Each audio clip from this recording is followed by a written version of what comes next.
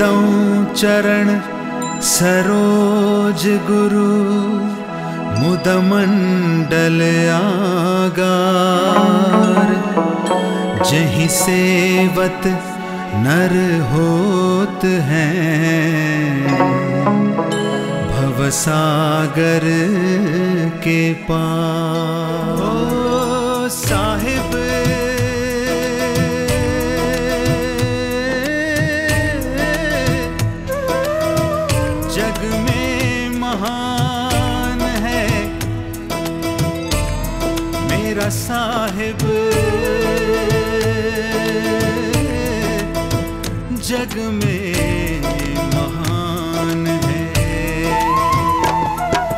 चरणों में मेरी जान है मेरा साहिब सत्य समान है। मैं बंदगी साहिब की करूँ मेरा साहिब ही भगवान है।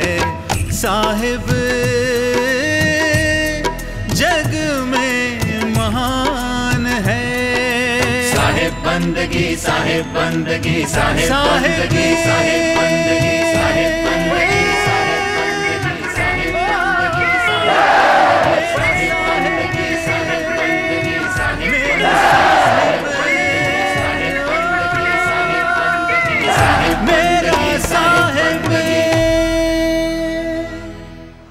गुरु हैं बड़े गोविंद से। भाई गोविंद से भी बड़ा कह दिया, कर विचार मन माह, हरि सुमरे सो बार हैं। गुरु सुमरे सो बार कबीरा हरि के रूठते गुर की शरणी जाए, कहे कबीर गुरु रूठते प्रभु नहीं होत सहाय। कबीर ते नर अंध हैं गुरु को कहते और। हर रूठे गुरु ठौर हैं।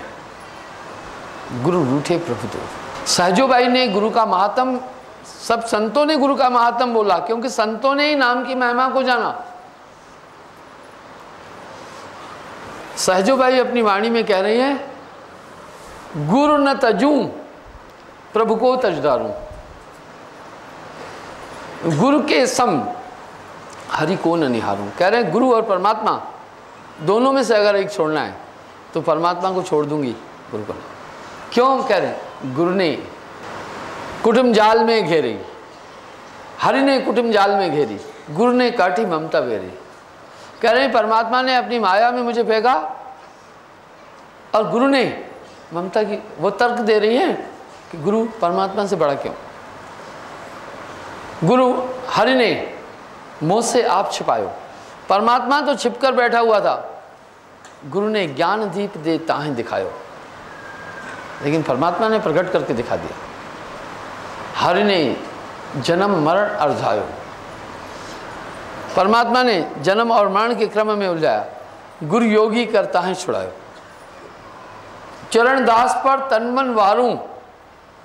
गुरु न तजूं, हरि को तज डारूं।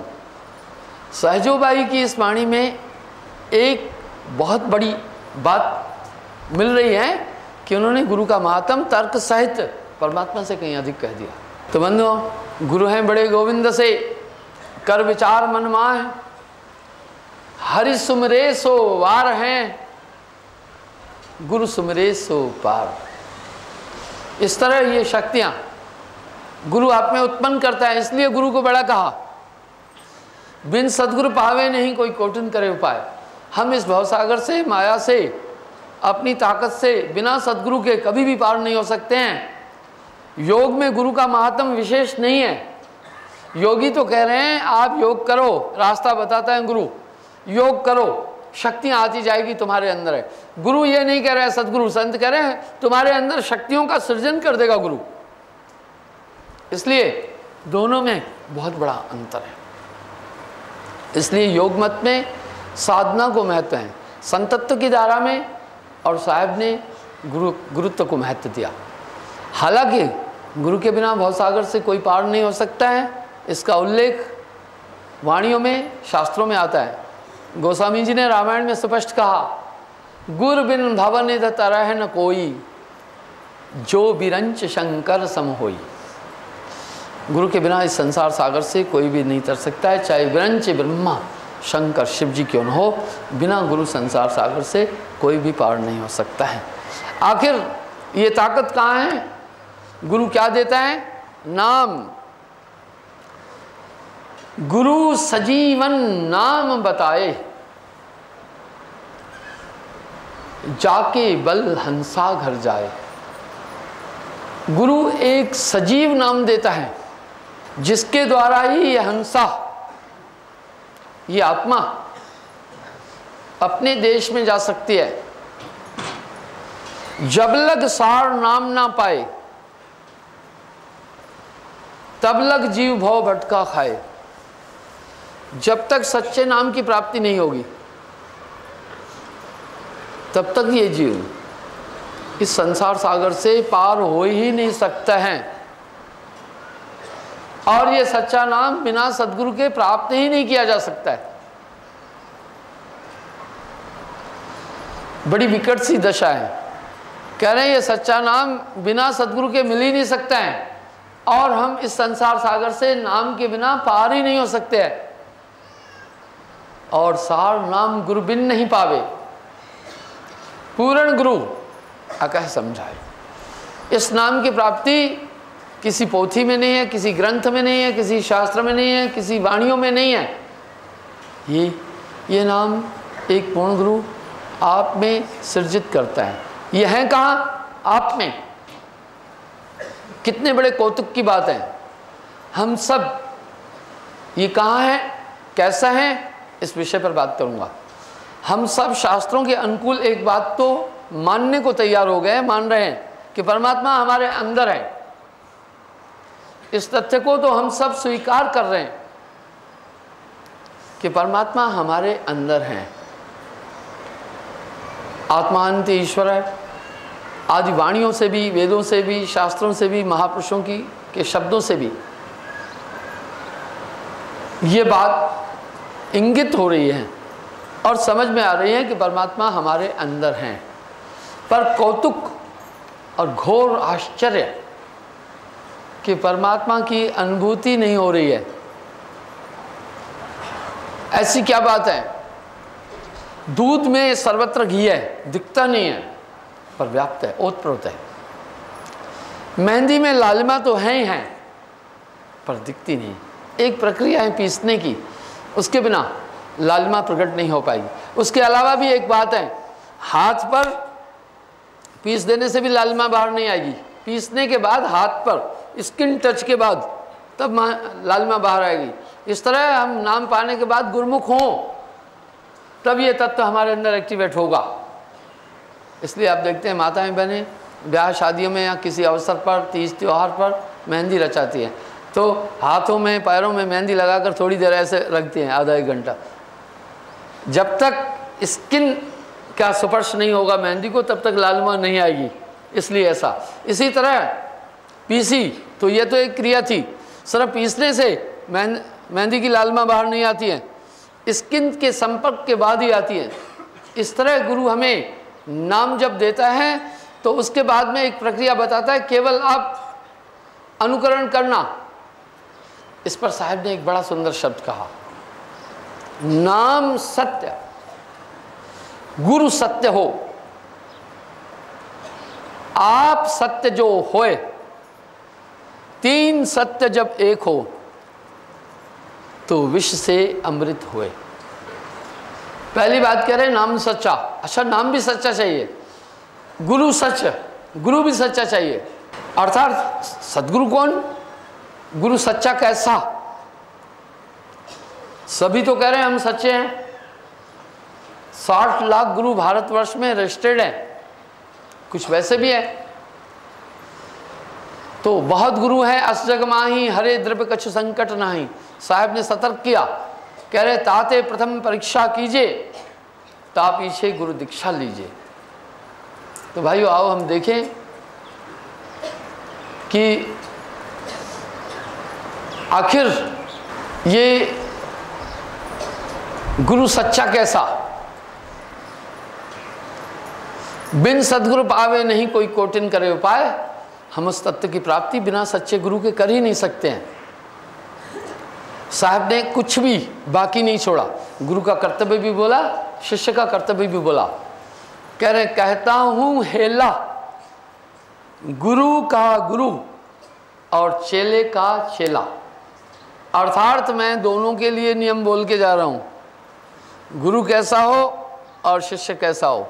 फिर वाणी में आगे कह रहे हैं देखिए कितनी पुष्टि कर रहे हैं इस बात की। शिष्य तो ऐसा चाहिए, गुरु को सब कुछ दे। पर गुरु भी ऐसा चाहिए, शिष्य से कछू न ले। देखिए एक तरफ़ कह रहे हैं, शिष्य तो ऐसा चाहिए, गुरु को सर्वत्र दे, सब कुछ दे। पर आगे हिदायत दे रहे हैं, भाई गुरु भी ऐसा चाहिए जो शिष्य से कछू न ले। कह रहे हैं, शिष्य से कछू न ले। गुरु भी ऐसा चाहिए। आइए गुरु के लक्षण उन्होंने अपनी वाणी में बड़े सहज भाव से इंगित किए। गुरु के लक्षण कहत हूँ सुनो धीर चित लाए। कह रहे भाई, मैं गुरु के लक्षण कहता हूँ, इसको ध्यान से सुनना। प्रथम, गुरु हो निर्वासना। निर्वासना का भाव विषय न करे।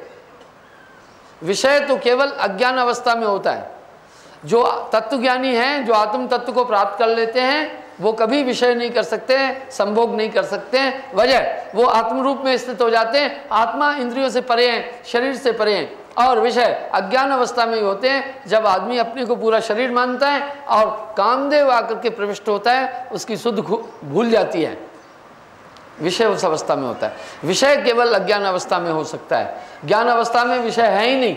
जैसे स्वप्न केवल हम निद्रा अवस्था में देख सकते हैं अज्ञान अवस्था में देख सकते हैं निद्रा में जागृत में स्वप्न नहीं देखा जा सकता। इसी तरह आत्मज्ञानी को कब, वो कभी विषय करेगा ही नहीं ना अपनी स्त्री से न पराई से। इसलिए गुरु हो निर्वासना जिसमें विषय विकार नहीं हो। आओ इसका एक प्रमाण देता हूँ। साहब कह रहे हैं जहाँ भोग तह योग विनाशा। आपने कथाओं में भी सुना होगा कि पराशर हज़ारों साल तप करके आया, मच्छोदरी के साथ संभोग किया, उसकी तपस्या ख़त्म हो गई। कई बार आप ये भी सुने हैं कि इंद्र ने गौतम की स्त्री के साथ में का हरण करने गए और विषय करने गए, आसक्त होकर के तो इंद्र की शक्तियाँ कम हो गई। अब एक प्रश्न उठा, ऐसा क्यों हुआ? भाई, पराशर ने हज़ारों साल तप किया मच्छोदरी के साथ में विषय करने से उसकी पूरी तपस्या खत्म हो गई। ये कैसे? क्यों खत्म हो गई? थोड़ी देर तो विषय किया, खत्म क्यों हो गई? आइए, इसको सरलीकृत करता हूँ, सरल करता हूँ। जब भी मनुष्य ज्ञान अवस्थाओं को प्राप्त होता है, विषय से उठ जाता है, तब उसकी वृत्ति, उसका पूरा स्नायुमंडल ज्ञानमय हो जाता है। और जब विषय करता है तो ठीक इसी तरह से असर पड़ता है उसको पूरी भूल भुलैया आ जाएगी। विस्मृति आ, आ जाएगी। और वो पूरा स्नायु मंडल जो योग वाला था वो नष्ट हो जाता है। कैसे नष्ट होता है? जैसे आप देखें किसी आदमी को मिर्गी का दौरा पड़ता है। दौरा पाँच मिनट के लिए भी पड़े। तो उसकी बुद्धि का ह्रास हो जाता है पूरे हमेशा के लिए। बहुत बड़ा झटका लगता है। आप देखते हैं आमतौर पर जब भी आदमी को दौरा पड़ता है तो बड़ी हाई शिवरिंग होती है शरीर में। और बहुत ज़्यादा कंपनता होती है और गिर पड़ता है। और ये कम पाँच दस मिनट होता है केवल। उसके बाद जब आदमी उठता है तो पहले क्या देखता है मालूम है? सबसे पहले वो ये देखता है, आँखें खोलता है जब उस समय वो बड़ी कठिन परिस्थिति में है। आम आदमी का कर्तव्य है मानव के नाते हम उसकी सहायता करें। वो कठिन परिस्थिति में है। एक प्याज लें, प्याज को तोड़ें। हाथ से काटे नहीं, और खोलें थोड़ा। उसके नाक के पास रखें। इससे क्या होता है? मस्तिष्क में जो कीटाणु इस दौरे को उत्पन्न करने वाले हैं, वो प्याज की महक से बेहोश हो जाते हैं। अगर आप ऐसा करेंगे, दौरा पड़ने वाला आदमी जल्दी शांत हो जाएगा। पाँच मिनट में नॉर्मल हो जाएगा। दो मिनट में नॉर्मल हो जाएगा। आप देखना, जब आदमी, नहीं तो उसे मौत भी हो सकती है। ये कठिन दौर है उसके लिए। ऐसे कांपता रहता है और कंपनता होती है। चोटें भी लग जाती हैं, बड़ी बुरी तरह चोटें लगती हैं दौरे वाले को। ये कठिन बीमारी है, बड़ी असाध्य बीमारी है। उसके बाद जब उठता है तो सबसे पहले वो आश्चर्य में आँखों में चारों तरफ़ देखता है, कहाँ हूँ?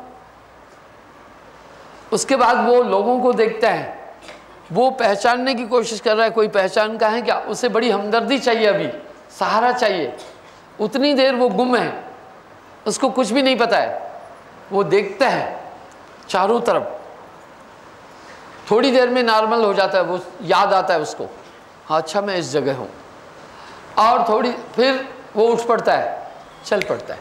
आप सोचते हैं वो अच्छा हो गया, नहीं हुआ। जो मस्तिष्क की नाड़ियाँ कंपायमान हुई, वो जीवन भर क्या एक असर छोड़ गई। उसका चिंतन, कोई भी जिसको दौरे की बीमारी है कितना भी ब्रिलियंट होगा, वो अकलमंद रह ही नहीं सकता है। क्योंकि जो कोशिकाओं की शिवरिंग में कोशिकाएँ बुरी तरह हिल गई जो याद करने की कोशिकाएँ थी वो डिस्टर्ब हुई, जो चिंतन करने की कोशिकाएँ थी वो डिस्टर्ब हुई। इसलिए पाँच मिनट के दौरे के अंदर उसकी पूरी बौद्धिक क्षमता का ह्रास हो गया। ठीक इसी तरह विषय सेक्स के समय पर जो काल पुरुष की, कामदेव की एक ताकत आती है, आदमी में प्रविष्ट होकर के जब वो ऐसी एक क्रिया होती है और वो परम, उसकी पूरी चेतना डिस्टर्ब होती है जैसे बेहोश होने के बाद आदमी होश में जब आता है तो उसकी मस्तिष्क की जो चेतना की कोशिकाएँ हैं उतनी उस बिंदु तक फिर नहीं पहुँच पाती है जिस बिंदु पर पहले थी। इसलिए हर ऑपरेशन करने वाला आदमी जो बेहोशी में ऑपरेशन कराता है उसकी क्षमताएँ कम हो जाती हैं। उसको काम करने की ताकत भी कम होगी गर, धूप गर्मी भी कम बर्दाश्त होगी थोड़ा कठिन परिश्रम करेगा तो भी चक्कर आ जाएगा। ऐसा क्यों हुआ? क्योंकि जब उसका ऑपरेशन किया गया तो उसकी चेतना की कोशिकाओं को कुंद किया गया। और बलात् बलपूर्वक उन्हें दबा दिया गया। होश में तो आया, पर वैसी स्थिति तक वो कोशिकाएँ दोबारा नहीं पहुँच सकती हैं, जहाँ तक पहले थी। इसलिए जिसका भी ऑपरेशन हुआ है, वो भी बोल्ड और काफ़ी गहरा नहीं हो सकता है। काफ़ी चेतन नहीं हो सकता है, क्योंकि वो एक अचेतन अवस्था को प्राप्त हो गया। जो भी अचेतन अवस्था को प्राप्त होता है, उसकी चिंतन शक्ति, याद शक्ति कभी भी बुलंद नहीं हो सकती है। कितना भी ब्रिलियंट कितना भी अकलमंद हो, आप लोग विचार कर सकते हैं, जिन्होंने भी ऑपरेशन कराए आप देखें, उनके पास अभी पहले से कम क्षमता रह जाती है। इसी तरह से जब आदमी विषय विकारों की तरफ़ जाता है, विषय करता है, संभोग करता है तो एक क्रिया शरीर में होती है। एक नंबर का मूर्ख और अपने को भूलना पड़ता है। जब ये क्रिया हो जाती है शास्त्रानुकूल तो उसकी चिंतन साधन शक्ति पर भी असर पड़ता है। इसलिए साहब ने वाणी में कहा, जहाँ भोगता है योग विनाशा। जो भी भोग कर रहा है, वो कभी भी साधन नहीं कर सकता, योग नहीं कर सकता। साहब कह रहे हैं, गुरु प्रथम हो निर्वासना, और संभव हो तो बाल ब्रह्मचारी। उसके पास और भी ज्ञान शक्ति होगी। पारस में और संत में तू बड़ो अंतरो जान वो लोहा कंचन करे, वो कर ले आप समान। पारस में और संत में बड़ा अंतर है। वो लोहे को सिर्फ़ सोना बना सकता है। कंचन अपारस नहीं, लेकिन संत अपने समान कर लेता है। इसलिए महाप्रज्ञावान पुरुष कभी भी विषय की तरफ़ नहीं जाते हैं। तो साहब कह रहे हैं, प्रथम निर्वासना, जिसमें विषय विकार न हो। दूसरा, निर्बंधन अर्थात गुरु, मोह माया के बंधनों में नहीं हो। वो आत्मज्ञान और प्रज्ञा, महा, महाप्रज्ञ हो चुका है। इसलिए वो आत्मा को समझ रहा है, शरीर के रिश्तों में नहीं आता है। अब वो संपूर्ण विश्व को अपना परिवार मानता है। जिसमें भी मोह माया है, उससे सावधान रहना आपको कभी भी नहीं पार कर पाएगा। कलयुग की बलिहारी, कलयुग की बड़ी बलिहारी, गुरुजी अपने जीवन काल में ही अपने पुत्र को अपना उत्तराधिकारी करके छोड़ के जा रहा है। मेरे साहिब की क्या शान है? रोशन ये सकल जहान है। मेरे साहिब की